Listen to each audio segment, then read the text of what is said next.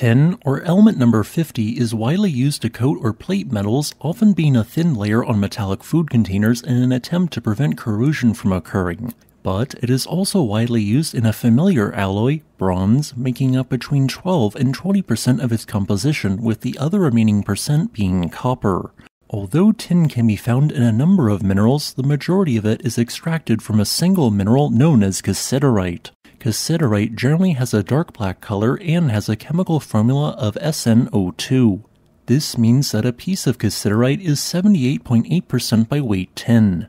When prospecting, you should be sure to keep an eye out for this mineral which often forms bipyramidal crystals.